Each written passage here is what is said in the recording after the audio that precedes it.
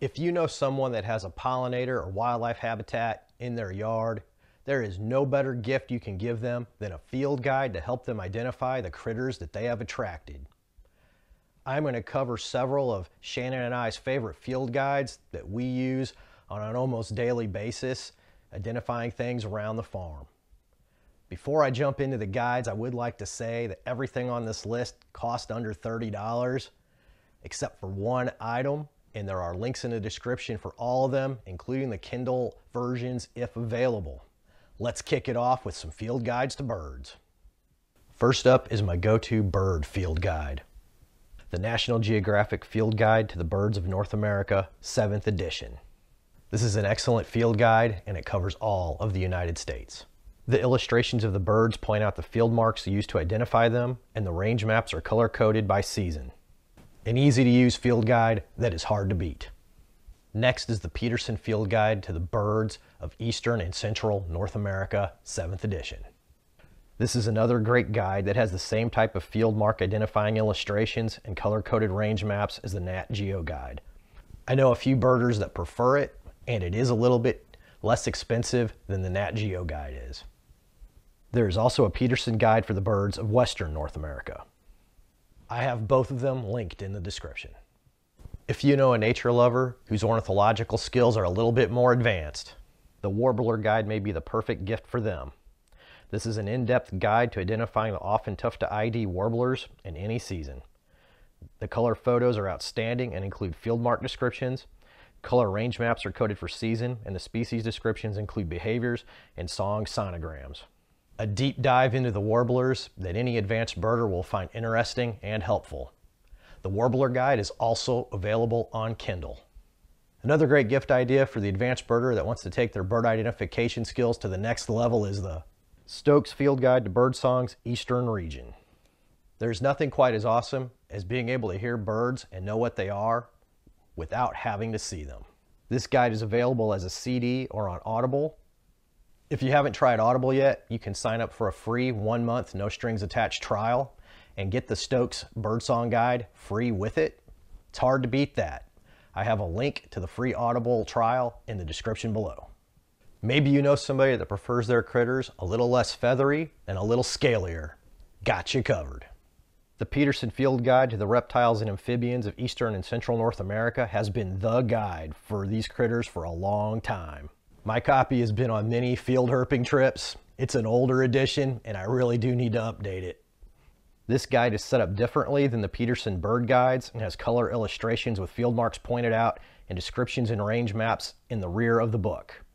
There's a decent amount of info given on each species and this format allows for that. There's also a Peterson guide to the reptiles and amphibians of Western North America. Both are linked in the description. If you love all the critters that are attracted to your habitat projects, please pollinate that like button. Time for some pollinator guides, starting off with the Kaufman Field Guide to Butterflies of North America. If you have a butterfly lover in your life, this is the perfect gift for them. This is the guide I reach for when I need to identify a butterfly. Set up much like a bird guide with illustrations highlighting field marks and color-coded seasonal range maps. Sure to be a hit with any butterfly gardener. Not to leave out the moths, next up is the Peterson Field Guide to the Moths of Northeastern North America. This guide is set up similar to the Peterson bird guides with species illustrations and accompanying range maps. There is also the Peterson Field Guide to Moths of Southeastern North America for those that live in that area. A butterfly garden should be full of caterpillar host plants and any butterfly gardener would be excited to receive a book to help them identify all those cool leaf chompers. For this, there is Caterpillars of Eastern North America, a guide to identification and natural history. This is an excellent book and one of the most used in my library. Complete with color pictures of caterpillars, adults, description of range, behaviors, and of course, host plants. I rate this book as a must-have for the serious butterfly gardener, and as a bonus, it is also available on Kindle. The pollinators everyone thinks of when you say pollinators are the bees. There are hundreds of species of native bees, and to help you sort them out is the awesome book, The Bees in Your Backyard, A Guide to North America's Bees. This is a general guide and will identify native bees to genus. Identification beyond that requires specialized keys and often a microscope. Still, I recommend this book highly to anybody that wants to learn more about the bees that they are finding in their backyard habitats. This book is also available on Kindle. The cousins of the bees, the wasp also frequent pollinator gardens and can be just as beautiful. Wasp, a guide for Eastern North America, is a well-written and wonderfully illustrated book with color photos that any wasp aficionado would love to receive. It is a larger book and isn't truly a field guide, but it is a great resource to have for identifying wasps that you have taken pictures of. It is another book in my library that gets a ton of use. If you are ordering field guides as a gift, either for a friend, a relative, or yourself, you deserve it. Go ahead and treat yourself. And you just can't wait to get all that awesome knowledge. A free trial of Amazon Prime will get it to you faster. Plus, you get to try out a ton of other Prime benefits all for free.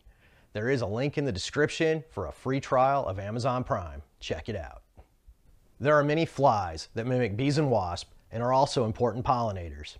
For the pollinator gardener in your life that wants to kick their entomological skills up to the next level, I recommend the Field Guide to Flower Flies of Northeastern North America.